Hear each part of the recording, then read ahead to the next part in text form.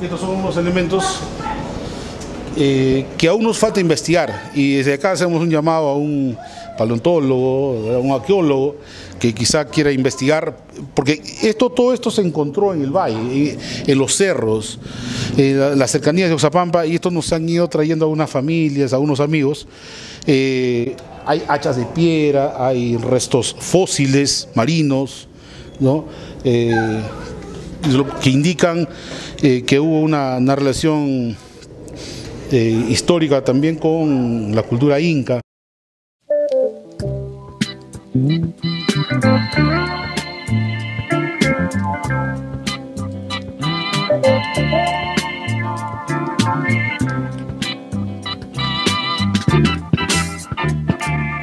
Caminando yo voy y pensando.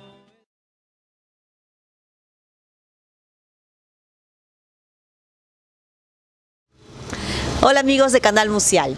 En este momento nos encontramos en el Museo Histórico de Oxapampa, acompañados del encargado del museo. ¿Nos puede decir su nombre completo y cuál es su papel dentro de este museo? ¿Qué tal? Muy buenas tardes, bienvenidos al Museo Histórico de Oxapampa, Héctor del Villar Guzmán. Y mi nombre es Luis Fernández Guzmán, soy hermano de Héctor, el que fundó este museo.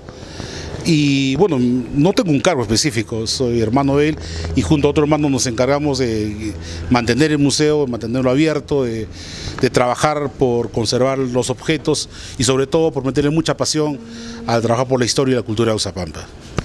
El museo reúne eh, una colección diversa de objetos históricos que nos cuentan eh, cuál ha sido el devenir, la historia de Oxapampa. ¿Cómo así han sido recopiladas estas piezas?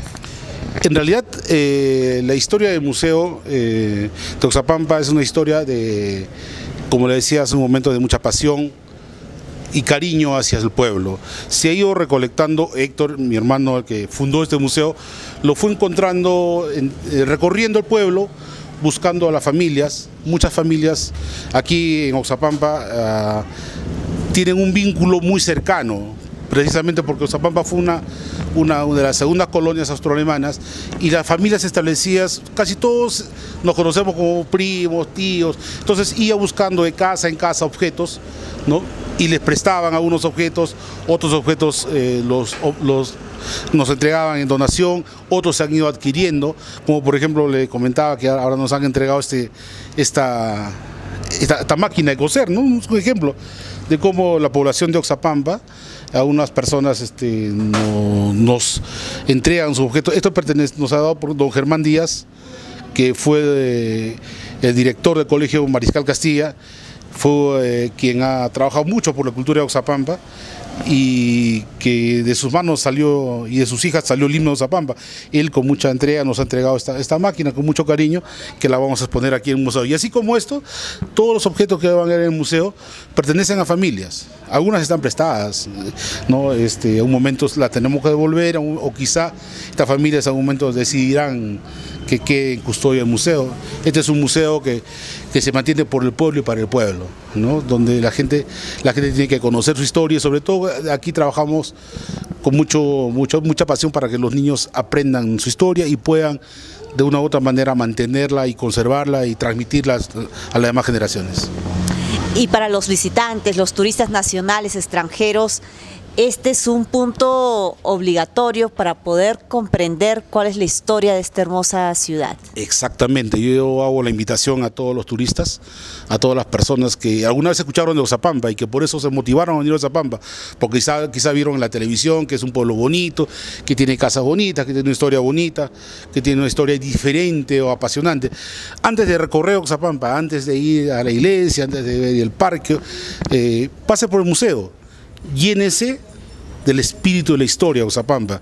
Una vez que usted conozca la historia de Oxapampa, que se sitúe en las etapas de, lo que hicieron los colonos en Oxapampa, podrá conocer y, sentir de una manera diferente al pueblo. Aquí van a encontrar la historia, aquí van a encontrar en cinco minutos que usted recorre el museo, va a poder sentir esa, esa fuerza y ese ímpetu, ese cariño que le pusieron los colonos para formar un pueblo y ese pueblo que ha ido creciendo y desarrollándose como Oxapampa ahora. Ese es el único museo que hay en la ciudad de Oxapampa, ¿verdad? Exactamente, es un museo único, eh, en realidad porque mm, como le decía hace un momento, trabajar por la cultura, trabajar por eh, la historia, eh, requiere de, de pasión. Y la pasión surge del cariño al pueblo y surge hasta de vínculos familiares. Y yo tengo, gracias a, Dios, la suerte de haber tenido una abuela, descendiente de, de segunda generación de los colonos, quien en charlas diarias, en la casa, en reuniones con familia, nos iban contando las historias. Y la historia de este de se ha ido formando precisamente de eso, ¿no? de la tradición familiar, de las historias que te contaban de familia en familia. Luego se ha ido reco- recogiendo historias y se han ido escribiendo, pero no hay una, digamos, hasta el momento, ah, algo oficial, concreto, si tenemos muchas versiones y aquí tratamos de contar en base a, en base a, a haber recogido esas historias, la que más se acerca a la realidad, ¿no? Entonces, Y en base a una colección bastante diversa e interesante, ¿no? Desde instrumentos agrícolas hasta objetos que forman parte de la vida cotidiana de las familias. Exacto, cada objeto que usted ha, ha visto y, y los visitantes pueden ver en el Museo de Zapampa tiene una historia propia. Cada objeto le pueden contar miles de vivencias. Cada objeto que, que- que está en el museo pues ha tenido un uso, ha tenido una persona que ha estado con él, ha tenido miles de anécdotas, ¿no? Y cada uno habla por sí solo. Nosotros, como le digo, en este museo, que aún comienza, aún estamos en pañales, eh, estamos en una etapa de recolección, queremos luego hacer una etapa de restauración, porque nos falta la restauración, queremos tener una etapa de promoción, en realidad queremos muchas cosas para este museo.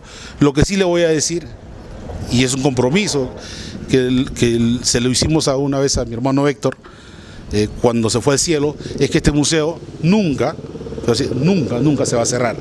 Siempre va a estar abierto al pueblo de Uzapampa, a las generaciones de Uzapampa, a los niños de Uzapampa, a los turistas y a quienes quieran venir a conocer cómo se formó este pueblo. La visita comienza con esta colección de zapatos y baúles, ¿no? Efectivamente, en esta parte eh, lo que vamos a encontrar es un poco la- la- el inicio de la historia de la colonización. Estos baúles, algunos de ellos han sido traídos de Europa, allá por 1857 cuando comenzó la colonización.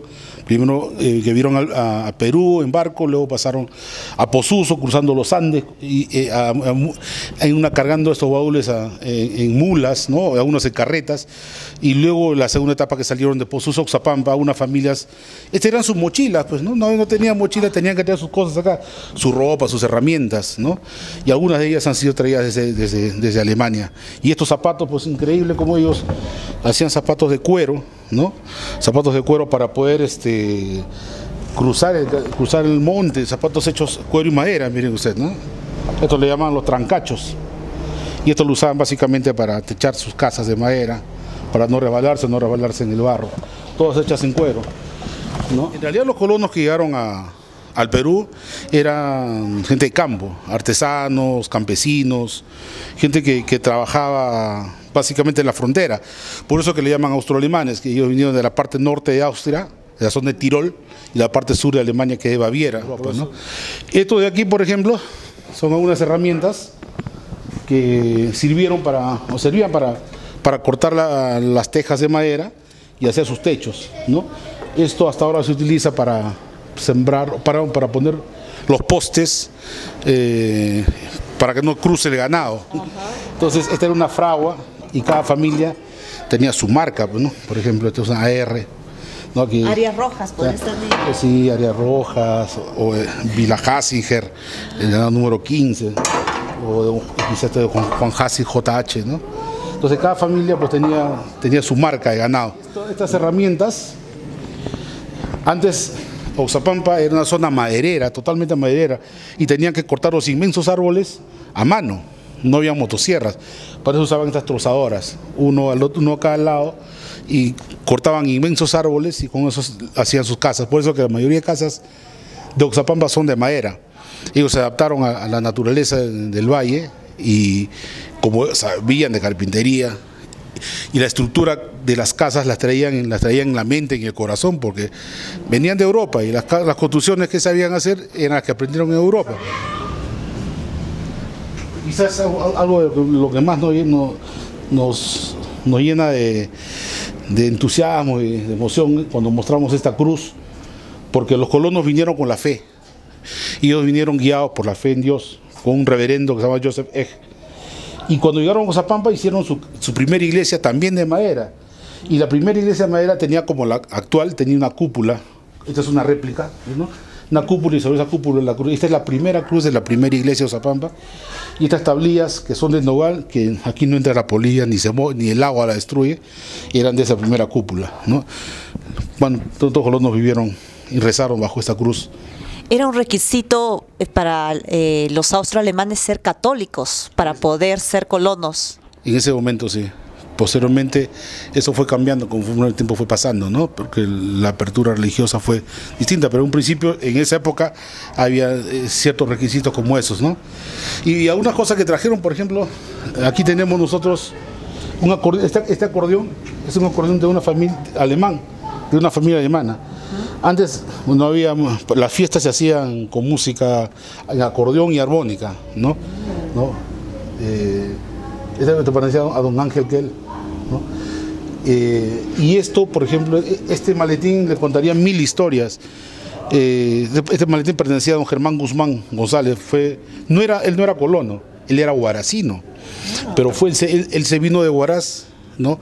Con un grupo del ejército, se, conoció Zapampa, se enamoró de una zapampina y nunca más se fue. Y fue el primer médico de Zapampa. Y él atendía a todos. Y, y una de las cosas que lo- lo- lo- a él lo, diferenció era que él atendía los partos. Atendió partos, imagínense usted, hasta en cuatro generaciones. Es decir, atendió a la mamá, la hija, a la nieta y la bisnieta. ¿no? Todos nacieron de sus manos. Y, y él tenía como ambulancia un caballo. Iban a su casa, don Germán, vamos aquí a su atender. Él se iba, atendía y no le no, no cobraba, le, pagaba veces con, con yuca, con plátano, con una gallinita. Y esa gran labor social que, que hizo Germán Guzmán eh, hizo que el hospital de Oxapampa lleve su nombre actualmente. ¿no? Homenaje. Un homenaje. Y este es su maletín. Pues aquí hay miles de historias de nacimientos. ¿no? Sí. Estos son los primeros libros, digamos, la primera versión eh, escrita de la historia de Oxapamba. Esto ha sido escrito por el padre Dionisio Ortiz, un, un mi- un sacerdote franciscano, un cronista franciscano, que, que- que ingresó a Oxapampa y aquí él ha detallado paso a paso, es muy interesante, muy, muy descriptivo eh, todo lo que ha sido la historia de la colonización, no solo de Oxapamba, sino también de, de, o sea, de Villarrica y los demás lugares de la selva central como Chanchamayo, Satipo. Esta ollita, esta, teterita, que en realidad pesará pues, si usted la carga, ¿qué? 10 kilos, ¿verdad? La, nosotros la, tiene una historia, nosotros la- la encontramos en Lima en una azotea en San Borja. Un nieto, esta, ahorita pertenecía a la primera mujer que llegó a Zapampa, Angélica Frey Johan, que la casa está acá al costado. Y uno de los nietos se lo llevó a su, ca- a su casa en San Borja y lo tenía ahí botado. Y nos llamó, hoy tengo, una- tengo la, la tetera de la abuela. Y ahí está, ¿no? La hemos, la hemos recogido y la tenemos ahí como parte de la historia. Esta Y es un- una venteadora que la tenemos prestada de la familia, la familia Gerovich, del tío Antonio Gerovich, Hasinger, ¿verdad? Esta, esta- igual, es- esta moledora de maíz, de, de arroz, ¿no? estos molían la- los granos, el arroz o también molían, chancaban los granos de café. Este horno era de, de la primera panadería que se hizo en el pueblo, pero ya, le digo ya que cuando el pueblo estaba formado, eh, este, este lugar que pertenece a la familia de Hasinger Baumann, eh, eh, un Willy Hasinger, un tío mío, hizo este, este horno y esta era una tecnología punta para su momento, una tecnología que usaba eh, lo que antes usaban los barcos de vapor, ¿no?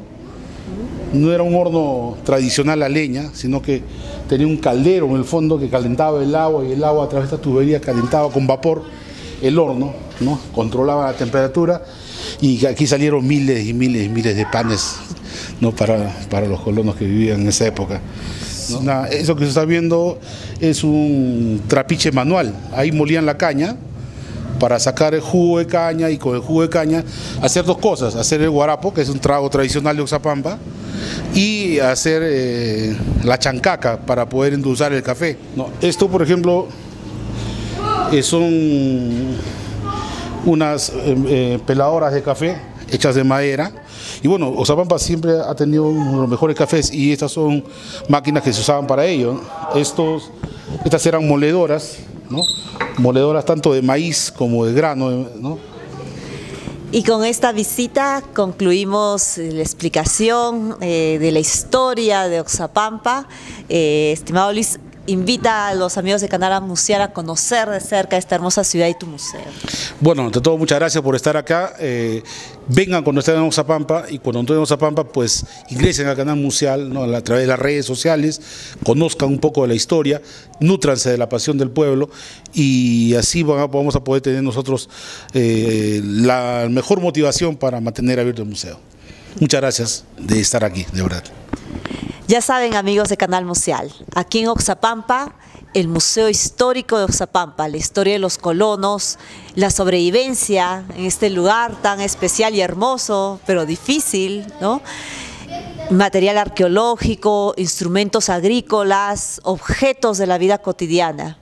Hay mucha historia que conocer.